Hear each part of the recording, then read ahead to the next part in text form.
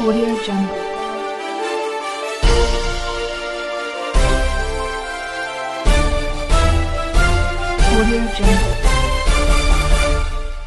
ಸಹಜ ಸ್ಥಿತಿಯತ್ತ ಬಸ್ ಸಂಚಾರ.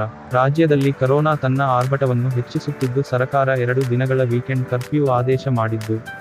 ಗದಗ ಜಿಲ್ಲೆ ಲಕ್ಷ್ಮೇಶ್ವರ ಪಟ್ಟಣದ ಬಸ್ ಸಂಚಾರ ವೀಕೆಂಡ್ ಕರ್ಫ್ಯೂ ಹಿನ್ನೆಲೆ ಕಳೆದ ಎರಡು ದಿನಗಳಿಂದ ಜನರಿಲ್ಲದೆ ಬಸ್ ಸಂಚಾರ ಬಹಳ ವಿರಳವಾಗಿತ್ತು. ಬಸ್ ನಿಲ್ದಾಣದಕ್ಕೆ ಜನರು ಬರುತ್ತಿರಲಿಲ್ಲ. ಇದರಿಂದ ಬಿಕೋ ಎನ್ನುತ್ತಿದ್ದ ಬಸ್ ನಿಲ್ದಾಣ ಇಂದು ಸೋಮವಾರ ಮತ್ತೆ ಪ್ರಯಾಣಿಕರಿಂದ ಜನದಟ್ಟಣೆ ಹೆಚ್ಚಾಗಿ ಬಸ್ಸುಗಳು ಕಿಕ್ಕಿರಿದು ಜನರನ್ನು ತುಂಬಿಕೊಂಡು ಹೋಗುತ್ತಿರುವ ದೃಶ್ಯ ಕಂಡುಬಂದಿತು. ಎರಡು ದಿನಗಳ ಕಾಲ ಮನೆಯಲ್ಲಿದ್ದುಕೊಂಡು ಸೋಮವಾರದ ಇಂದು ವೀಕೆಂಡ್ ಲಾಕ್ಡೌನ್ ಸಡಲಿಕೆಯಿಂದ ಪಟ್ಟಣದ ತುಂಬೆಲ್ಲ ಜನವೋ ಜನ.